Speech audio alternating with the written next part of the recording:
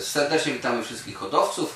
Będąc w Krzywanicach u kolegów e, Kubickiego Karola i Andrzeja Lizaka e, mamy troszeczkę gołębi na sprzedaż. Jedne gołębie już zaprezentowaliśmy kolegom na filmie, fotoreportażu, który nakręciliśmy dosłownie przed chwilą. Były to gołębie kolegi Andrzeja Lizaka, a teraz po- powiemy coś więcej o gołębiach kolegi e, Karola Kubickiego.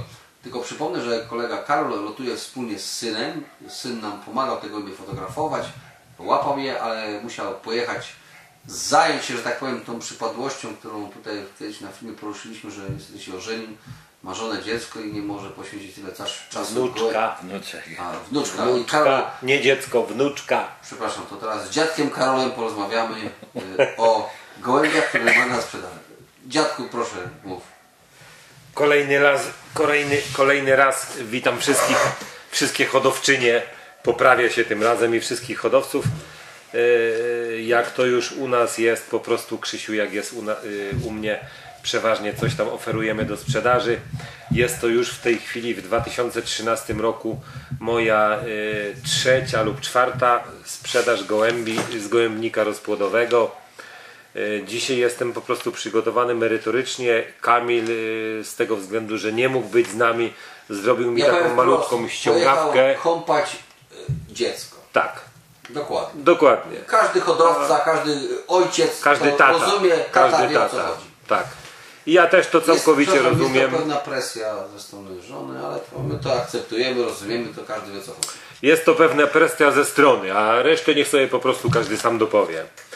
I tak y, koledzy hodowcy y, chciałbym tylko tak bardzo szybciutko i w skrócie powiedzieć, gdyż tak jak na każdym y, fotoreportażu mówię, że ja odsprzedaję w większości gołębie, które są sprawdzone już w rozpłodzie, gołębie, które u mnie są przez 2-3 lata czasami. No, tym razem zdarzyło się tak po prostu, że mam kilka gołębi świeżych, o których nie jestem w stanie nic powiedzieć, a to jest tylko dlatego, że będąc, będąc na zakupach y, za granicą, były to Niemcy, były to Belgia, y, w, y, chciałem zakupić gołębie te, które na, mi bardziej zależało, a jednocześnie nie znałem gołębi, które okazały się równie dobre, a nie były po prostu pokazywane po prostu na, na, na, na szerokim forum. I nawiązując do tego, tym razem niewiele tych gołąbków mam, bo tylko 10. Jest tu część gołębi, które mam u siebie w rozpłodzie już od 3 lat, część gołębi, które mam 2 lata i część gołębi, tak jak wspomniałem przed chwileczką, yy, świeżych. I tutaj bym chciał powiedzieć yy, o takich gołębiach. Yy, są to gołębie dwa, które mamy do sprzedaży, aczkolwiek nadmieniam, że Dwa swoje, ze swojej hodowli. Y, Nie, tym razem powiem o gołębiach, o których mogę powiedzieć ze względu na pochodzenie, nie mogę powiedzieć o tych gołębiach ze względu na wartości rozpłodowe. Y, Moim zdaniem są to bardzo dobre gołębie, ale no, postanowiłem w tym roku zostawić nie więcej jak 25 par rozpłodowych i część gołębi jestem zmuszony. Po prostu jestem zmuszony odsprzedać. A z tego względu podkreślam, że y, musiałem kupić, nie musiałem. Kupiłem tych gołębi więcej, będąc na zachodzie. Część gołębi teraz mówię, że muszę odsprzedać ze względu na nadmierną ilość tych gołębi w gołębniku rozpłodowym, gdyż no, no, no, no niestety nie mogę sobie dać. I są to tak, dwa gołąbki z gołębnika MGA Mac. Yy, hodowcy, którzy yy, znają tego, yy, te gołębniki, będą wiedzieli, że są to gołębniki na bardzo, bardzo wysokim poziomie, jeżeli chodzi o wartości hodowlane i lotowe. Większość będą z gołębi Van Luna, nie? Tak. I tutaj tak jak Andrzej, dlatego że y, chciałem do tego nadmienić. Andrzej tak samo lata bardzo dużo na gołębiach Van Luna i Szelensa. I chciałem powiedzieć, tutaj pokazuję jeszcze karteczkę, którą mi Kamil napisał, taką ściągawkę. I tak pokrótce za, za, y, zaprezentuję. Pierwszy gołąbek, który jest do sprzedaży, jest to gołąbek o numerku y, y, 819. Mówię tylko numer y, na obrączce, nie mówię numeru rodowego. Jest to gołąb czyściutki Van Loon. Czyściuteńki z linii gołębi Silver Shadow, tak jak jest u góry widać. Jest to linia Silver Shadow. syn Romingera. Wszyscy wiemy, kto to był Rominger, że był to rewelacyjny gołąb u Luisa Manluna y, w rozpłodzie. Y, Chciałem tylko nadmienić, że SGM, MGA Mac y, miał, tak samo ta hodowla miała tak samo swoje gołębie na olimpiadzie w Niemczech. I tak jak mówię, jest to gołąbek czyściutki Wannun, który no naprawdę rewelacyjnie leży w ręce. Jest y, przepięknej budowy, króciutkie przedramię, bardzo silne skrzydło. Podkreślam jeszcze raz, bardzo silne skrzydło. Naprawdę bardzo dobry gołąb, ale no niestety z czegoś trzeba zrezygnować. I to, że taki gołąb jest u mnie na przykład y, oferowany do sprzedaży, to nie znaczy, że jest to gołąb dobry, bo jeżeli chodzi o własności rozpłodowe, nie potrafię nie potrafię, tak, przepraszam, nie potrafię nic powiedzieć o tym, ale naprawdę, jeżeli chodzi o pochodzenie, o budowę, proszę mi uwierzyć, jest to gołąbek perfekcyjny. Ja tylko powiem jeszcze jedną rzecz, że kiedy robiłem te zdjęcia gołębia, które na aukcję wystawiamy, zapytałem się Karola, bo zobaczyłem też rodowody i zapytałem się, mówię, czemu wy takie gołębie wystawiacie? Bo Co są jakieś plewy, jak to mówią, takie odpad? Nie, bo kolega Karol też jeszcze, on tego nie wspomniał, wy chcecie się skupić po prostu na kilku liniach u siebie, Tak, tak. Chciałem to powiedzieć na końcu, ale no Krzysiu należy do takich ludzi po prostu, że on y, ciągnie za język. Tak jak od Andrzeja wyciągnął najlepszą drużynę z lotu okręgowego, tak mnie pociągnął teraz za język po prostu i muszę to teraz powiedzieć, że później to nie było po prostu takie przelewanie y, z pustego w próżne albo odwrotnie. I no niestety są to gołębie, y, które u nas nie mają linii.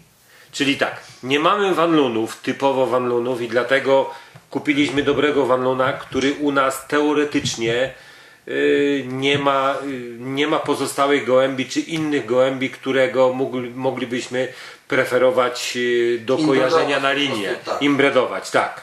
Tak. Dlatego idzie do sprzedaży pomimo, pomimo tego, że jest to naprawdę gołąb o, o, o, o wybitnej budowie. Co nie zmienia faktu, że na przykład drugiego gołębia, które polecam z tego samego gołębnika, czyli MGA Mac, jest to gołąb z linii y, kanibala, z, którego, z, z której linii jest mój olimpijczyk 16071.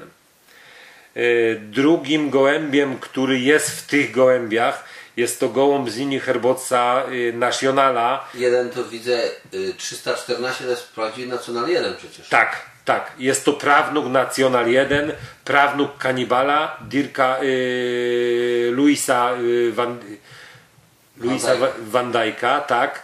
I od samego dołu jest to gołąb po prostu y, od y, z gołębi hodowcy Baumana. Jest to typowy Belg, gdzie Bauman był bardzo dobrym hodowcą na lotach średniego dystansu. W Belgii są to loty y, średnio długi średnio i średni dystans. Jest to gołąb praktycznie od 300 do 700 km, czyli takie loty, które w tej chwili preferowane są w Polsce nawet jeżeli jakby wziął pod uwagę Mistrzostwo Polski, gdyż w Mistrzostwie Polski w tej chwili mamy zaczynają nam się loty od 300 km do góry. Karol, tylko pokaż jeszcze tam wyżej, tu się ciut co pokazałeś, to jest właśnie ten National 1, czyli tak, Tak, jak powiedziałeś. National 1, To jest gołąb pełny prawnuk Nacionala 1. pełny prawnuk, tak. Taki- Oj, tutaj jest National 1, tutaj mamy gołębie Van de Poel, jest to gołąb y, typowo holenderski, ale jeżeli hodowcy, a wierzę w to, że hodowcy, którzy zajmują się hodowlą gołębi, znają gołębie Van de Poela i dlatego tak, National 1, National 1 jest gołębiem Szelensa i te gołębie yy, typowo mm, są gołębiami średniodystansowymi, gdyż jest to Szelens, a Van de Poel jest gołębiem dalekodystansowym. Stąd po prostu jest to yy, gołębi, yy, linia gołębi średnio i dalekodystansowych. Ale pokażmy jeszcze wyżej, patrzę, jest on Peter Wenstra jest jeszcze w rodowodzie. Tak, Peter, No, Peter Wenstra, y, First Lady. To znaczy, ja bym powiedział w taki sposób, bez komentarza, jeżeli chodzi o gołębia First Lady Petera Wenstry. Kto chce, kto zna Petera Wenstrę, wie kto to je, co to jest First Lady. Była to samica, była to samica z 98 roku, która była okrzyk- okrzyknięta przez jeden albo dwa lata, nie pamiętam w tej chwili, nie chcę kłamać, najlepszą samicą rozpłodową u Węstry. Jak jest w tej chwili, nie wiem. Była to samica, która wydawała perfekcyjne potomstwo, bardzo dobre w budowie i bardzo dobre w lotach. Ale automatycznie mężem tej samicy, czyli samcem, z którym ona była yy, yy, Był parowana, kanibal był kanibal. Luisa Van Van Van gołąb Dijk'a, przepraszam, Dylka Van Dijk'a. Luisa Van Dijk'a. Gołąb, który po prostu jest yy, mój, inaczej, mój olimpijczyk jest wnukiem tego gołębia. No i, to, I to jest też y, no, prawnuk tego gołębia. To jest prawnuk tego gołębia. A mówimy Analizując o po prostu... 569 z hodowli spółki MAK. Tak. Analizując po prostu rodowód, wszystkiego się doczytamy. Jeżeli by było potrzeba jakichś y, pytań, po prostu nasz numer, tak mój, jak i Andrzeja, tutaj kolegi, jak i syna, będzie pokazany. Proszę dzwonić. Oczywiście w przyzwoitych godzinach, żeby nie budzić wnuczka. Czyli to druga w nocy, trzecia? No, mało cię było słychać.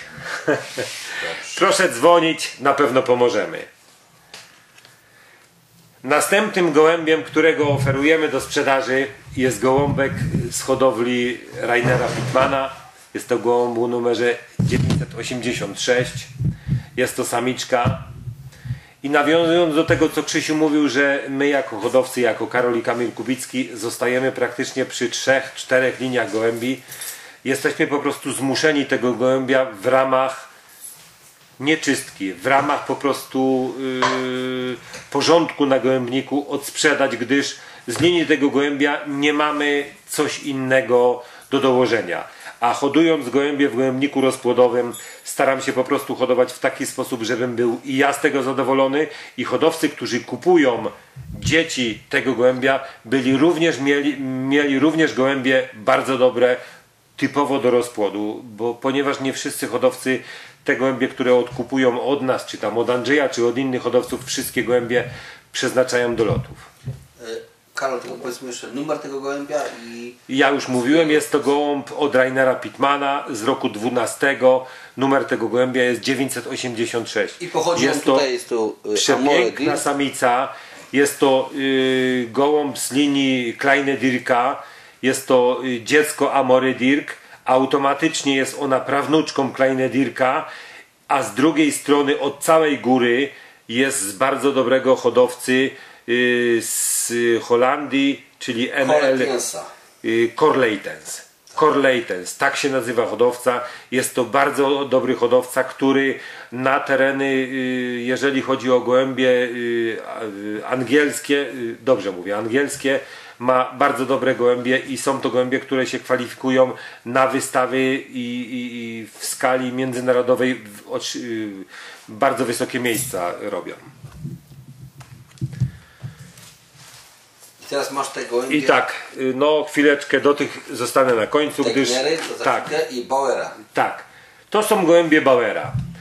Hodowcy, którzy w tej chwili oglądają y, Krzysia y, stronę internetową, czyli www Naszegolebie.pl. naszegolebie.pl Wszystkim polecamy ten, ten adres.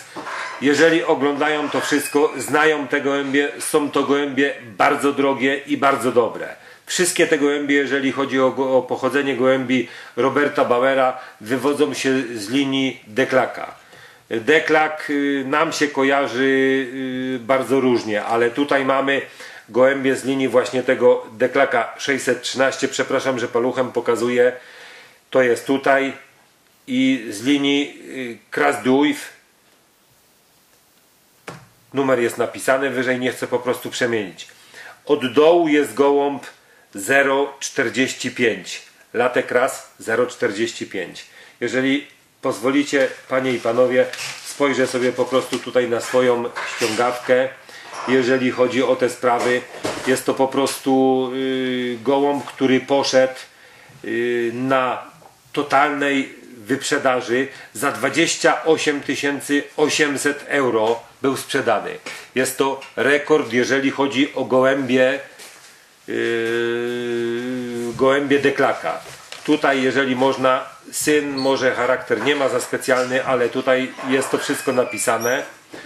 I jest to gołąbek naprawdę bardzo, bardzo dobrego pochodzenia, który no nie będę się powtarzał, muszę sprzedać ze, ze względu na przepełnienie. Ja, ze, ja ze, od siebie dodam coś takiego, że jutro akurat w dniu jutrzejszym wyjeżdżamy do Bawarii, tam gdzie jest hodowla Bauer, Roberta Bauera. Jedziemy nakręcić fotoreportaż, sfotografować rozpód i kolegom będziemy więcej o tych mogli powiedzieć. Ja tylko tych sygnalizuję krótko, ale w najbliższym czasie Będzie, spodziewajcie się, że te gołębie będziemy mieli wszystkie, to jest fotografowane. Dzięki- Robert Bauer nam opowie o tych gołębiach i będziemy na żywca mieli, że tak powiem, wzięte stamtąd wszystkie informacje o tej hodowli, a to są hodowle y, w większości tutaj, tak jak kolega Karol powiedział, to są wywodzące się z hodowli deklaka. Tak. Dzięki Krzysiu serdeczne, bo pomimo tego, że tych fotoreportaży ze mną nagrywałeś już kilka, zawsze y, jestem stremowany y, przed kamerami. Także no y, fajnie, że mi tutaj pomagasz. I tutaj jak wszyscy hodowcy widzą, spróbuję to w taki sposób, żeby nie było jakiegoś odbicia. Są to rodowody, które oczywiście są dostępne na stronie naszego lebieg.pl i y, nie będę ich tutaj długo trzymał, żeby po prostu nie przedłużać tego wszystkiego, ale koledzy hodowcy tutaj, jeżeli byście chcieli zobaczyć, to wszędzie w każdym tym gołębiu jest tak 613 Yy, znowu mamy 613, czyli są to gołębie zimbredowane.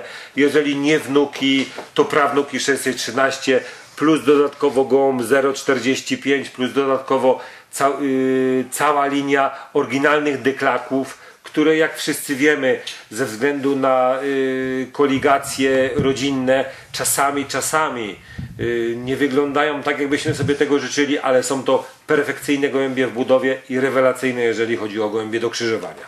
Ja powiem tylko od siebie, że my już odwiedzaliśmy te hodowle, rozmawialiśmy z hodowcami, którzy mają gołębie rasy deklak. Byli to hodowcy, byliśmy, przypomnijmy sobie hodowcy, yy, byliśmy w Belgii, w, przepraszam, Roysel, to było Tak. w, Holandii. Tak, Holandia. Tak, tam odwiedziliśmy y, w ostatnio wspólnie z Centrum Zdrowia Gołębi odwiedziliśmy y, Deklaka Van Lim de Prut. Van Lim. Tak, byliśmy też u Borgmansu. Słynny, słynna opowieść o czapeczce. O czapeczce, tak, rozmawialiśmy. Y, Tam byliśmy u hodowcy Borgmansa, który miał też te gołębie Deklaka. Dzisiaj tutaj dowiedzieliśmy się od Karola, że gołębie właśnie Bauera są oparte też na hodowli Deklaka, a będziemy, powiedziałem, tak jak kolegom zapowiedziałem, że w sobotę jedziemy, czyli jutro jedziemy do Bawarii, tam właśnie gdzie mieszka Robert y, Bauer, tam będziemy filmować, będziemy mieli informacje o tych hodowcy.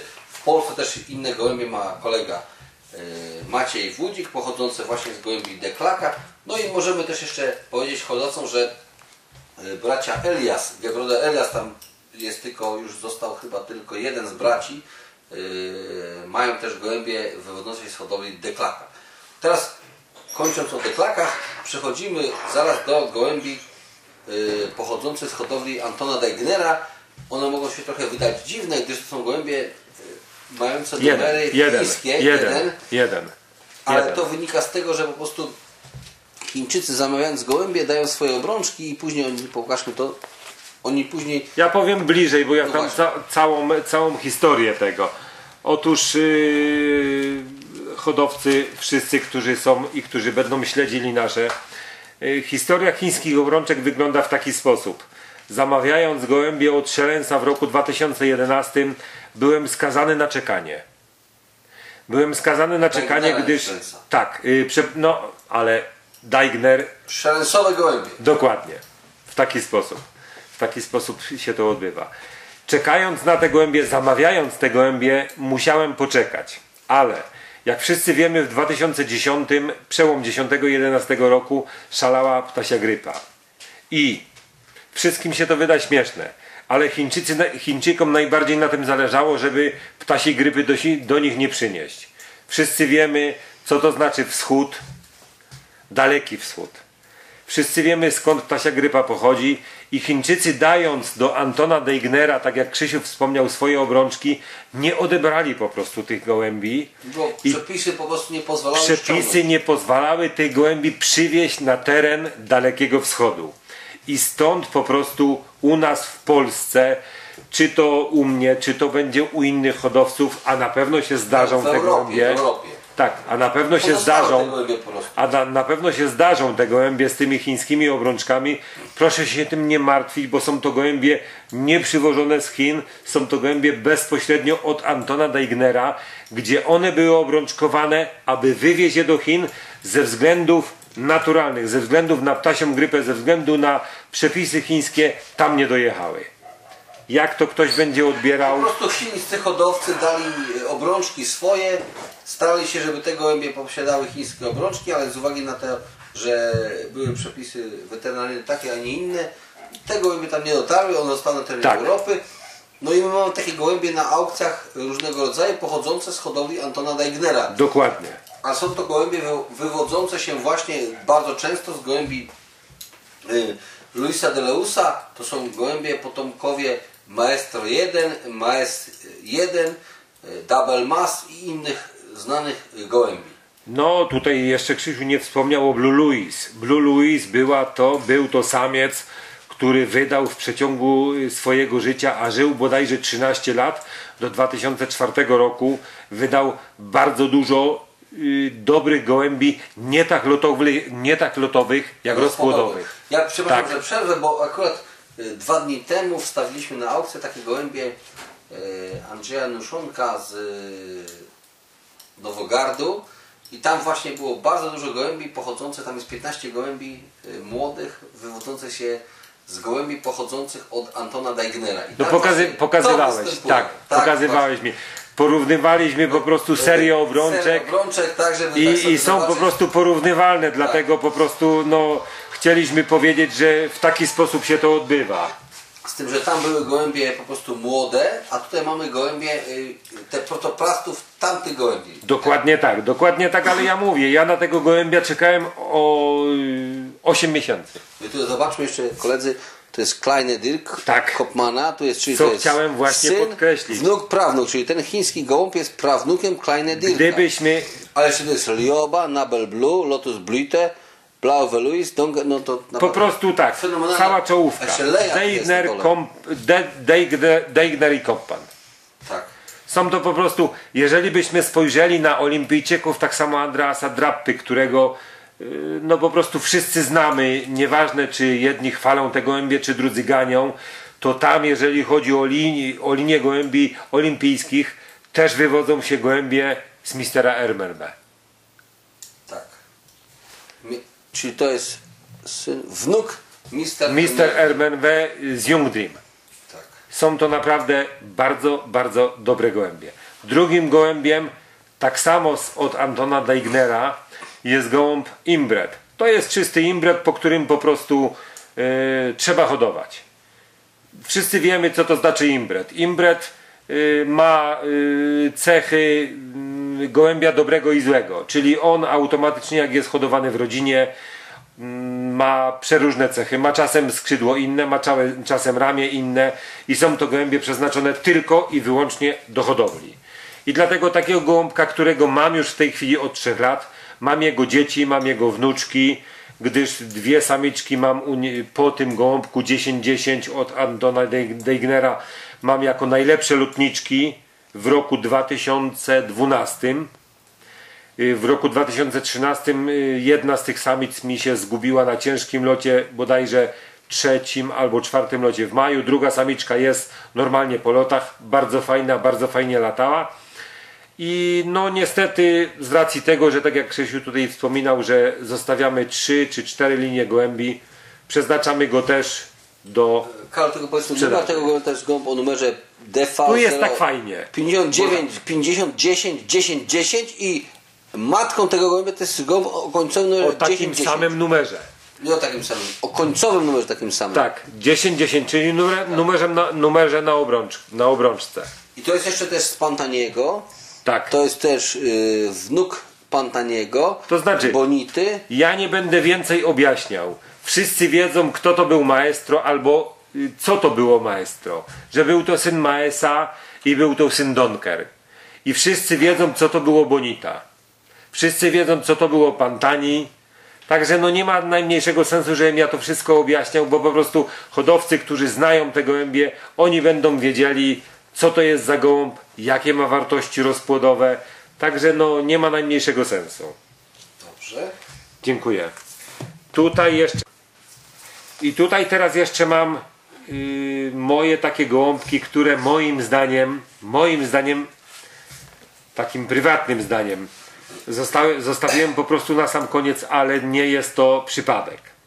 Są to gołąbki dwa. Powiedzmy, że od różnych hodowców, Karol, ale to powiem numery tego w czym rzecz. kolegom, Tak, wiedzieli? ale powiem w czym rzecz. 18, Pierwszy 08. gołąbek, pierwszy gołąbek 516, czyli Rainer Pittman 09 rok, numer gołębia 1808.